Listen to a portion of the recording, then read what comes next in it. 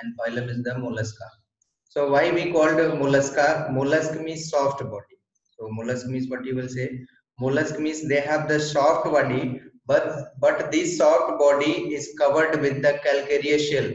So this soft body is covered with the calcareous shell. So this is called the mollusk. Mollusk means soft body. This is the second large, second largest animal phylum and first largest animal phylum that is the arthropoda. Second largest mollusca and third largest protozoa. So here this is the second largest animal phylum. Mollusca are terrestrial, animal, aquatic and some are marine. It means some are the terrestrial means which uh, those uh, which living uh, lives on the earth surface land and or aquatic some are the aquatic and here aquatic may be marine or freshwater so freshwater example is the pila globosa. So pila globosa is the scientific name. Pila globosa is the scientific name commonly known as the apple snail so if you'll check so their body is covered by a calcareous cell. Their body is covered by a calcareous cells and calcareous cell is made up of the calcium carbonate. Calcareous cell is made up of the calcium carbonate. Okay and this is called the exoskeleton. So some have uh, this is called the uh, skeleton. This is cells. So sometimes cell present outside the body. Sometimes present cell inside the body. And sometimes uh, they have no cell. If you'll check the example if you'll check the example so each have given the number of example. In case of the apple snail so they have the calcareous calcareous cell outside the body. If you'll check the uh, sepia, sepia that is the sepia, CP. So it have the sepia, it have the, it have also calcareous cell but inside the body. Okay, and octopus, octopus they don't have the calcareous cell. Okay, so body is covered by a calcareous cells and it is unsegmented with a distinct head, muscular, foot and visceral seams.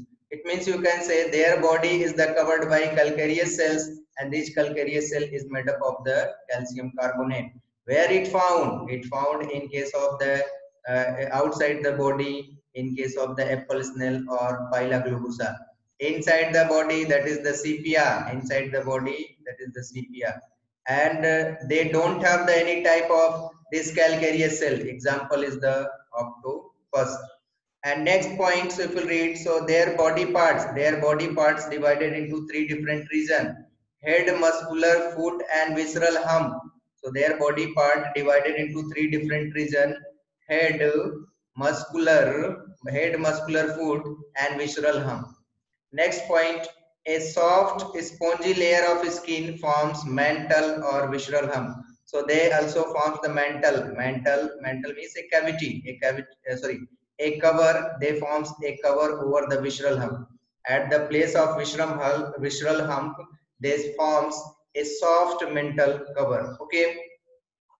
Next the space between hump and the mantle the space between hump and the mantle is called the uh, the space between hump and mantle is called the mantle cavity. And these mantle cavity have the feeder these mantle cavity have the gills and these gills is the feeder like they have the mantle cavity which have the gills and these gills are the feeder like they have the respiratory and excretory function. They have the respiratory. So these gills these gills function performed as respiration as well as excretion.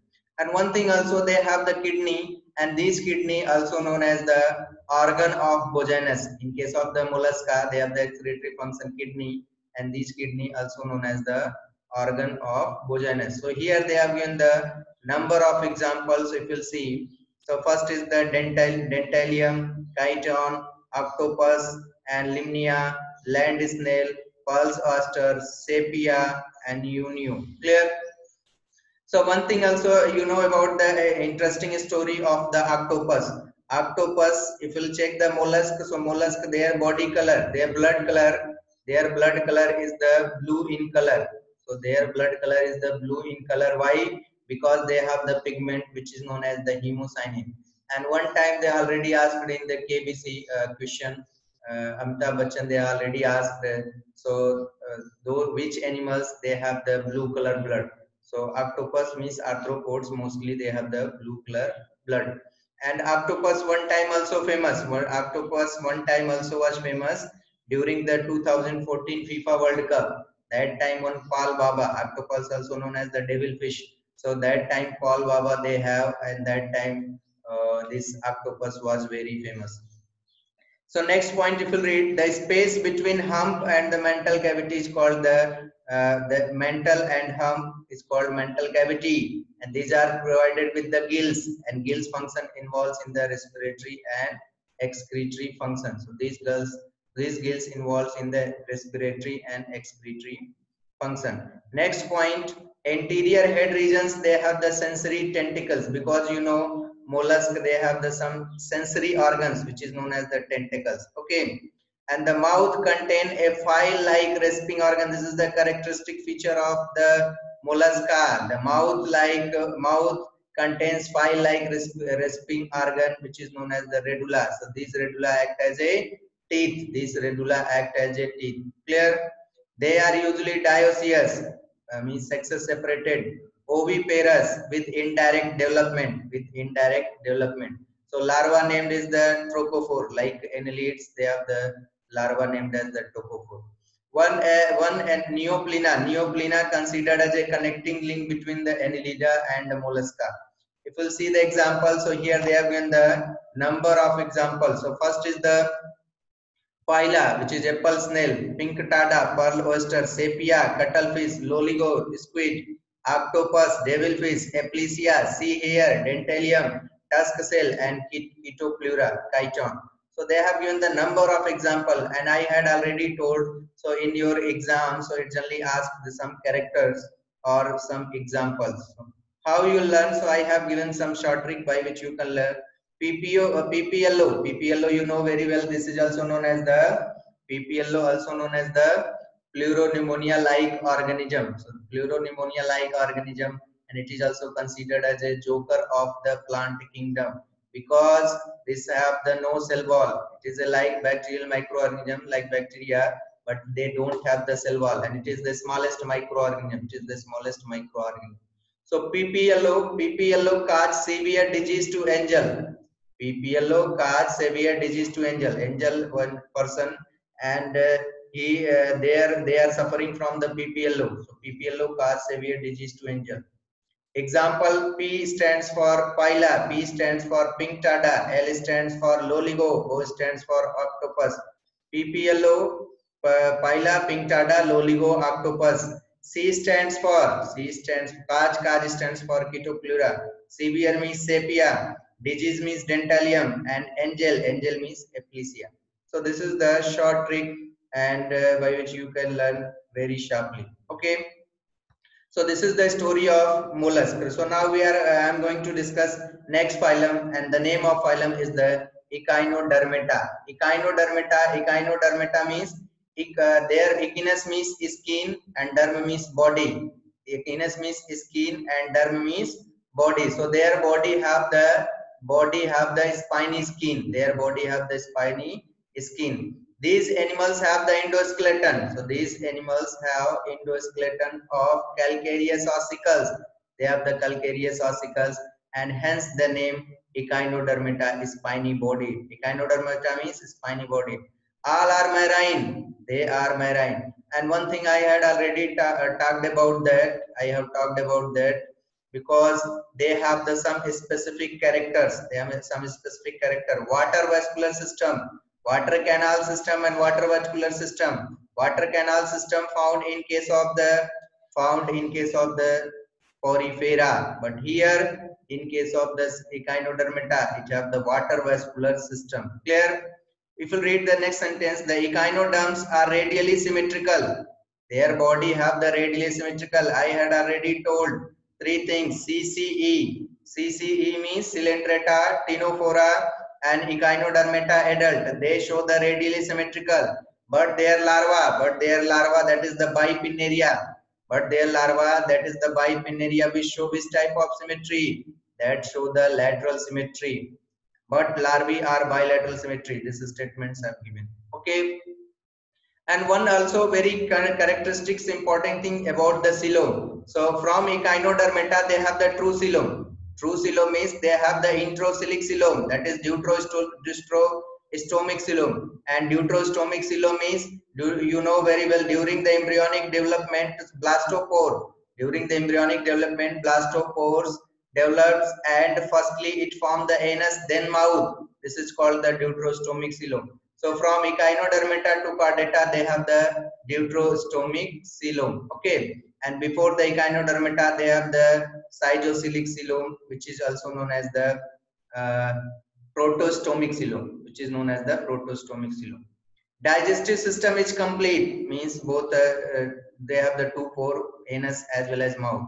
So mouth is located toward the ventral region that is oral side and anus on the dorsal side that is aboral region that is aboral region one more also distinctive feature which is known as the water vascular system. So they have the water vascular system and these water vascular system helps in the locomotion, capture of the prey and transport of the gases. Clear? The basic function of this water vascular system, so it have the two to three function perform. Okay. So first if we'll check, so they have the uh, water vascular system locomotion phenomenon. It involves in the locomotion phenomenon, capture the prey and transport of the food and respiration. So it involves in the transport of the food and respiration. So this is the very important characteristics of the phylum Echinodermata. And one thing uh, you know, uh, one thing also phenomenon autotomy. Autotomy a type of regeneration property which is also found in the uh, these echinoderms. Okay, so echinoderms show such type of the autotomy that is the regeneration property. And the larva of echinoderms which is known as the bipinnaria. Bipinnaria they have the larva. And excretory system and excretory system absent. One thing also if we'll check the example. So sea urchin sea urchin they have the one important organ which is known as the aristotle lantern. Aristotle lantern this is relevant to the digestive system. It helps in the mastication process Aristotle lantern. So it also found in case of the echinodermata. If you'll check their examples, so it have given the number of example. So development is indirect. I had already talked with free swimming larva by bipinnaria and free swimming larva they have the similarity with the chordates. By Bipinnaria larva they have the similarity with the chordates. Example, example you can see here they have given the example. Okay, if we'll see the example, so what they have given uh, starfish, Echinus sea urchin, and Antedon sea lily, Cucumaria sea cucumber, and Ophiura brittle star. Ophiura, which is considered as a brittle star. So these are the example of echinoderms. Clear? Echinoderms means spiny body. Clear? They have the main characteristics that is the water vascular system. Okay. So short trick I have given the some short trick and uh, by which you can learn very easy. So excel coaching option always excellent. Uh, because i am teaching here so i will say this is option is always excellent. Okay? So excel excel stands for asterias and coaching coaching that is the cucumaria and ophiura antedon and echinus. Ophiura that is the option antedon always echinus excellent. Clear? So excel coaching option are always excellent. Okay so this is the short trick.